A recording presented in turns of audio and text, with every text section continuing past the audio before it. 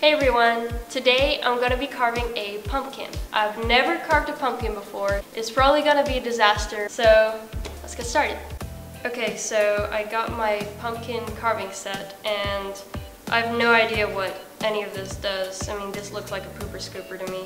I gotta draw something on here. I'm gonna draw a cat. Okay, so I'm not sure if you can see it, but there's a cat on here. Um, if you can't see it, then you'll see it at the end. I don't know what tool to use, you guys. I think I'll just go for this one. oh god. Okay, well that didn't work. Oh.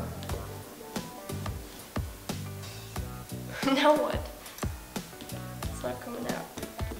How do I get this thing out?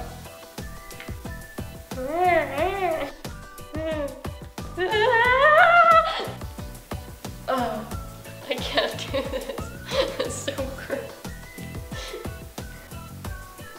Pumpkin stinks, you guys.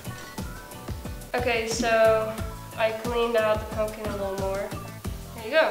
There I got the cap, which you can't see, but you will.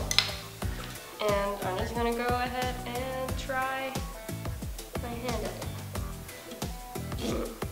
It's not that hard.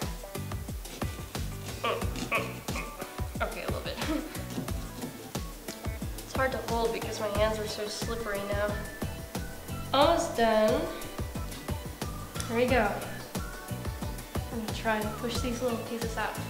There's two. So here you go, here's my pumpkin cat. Let's go try and light it.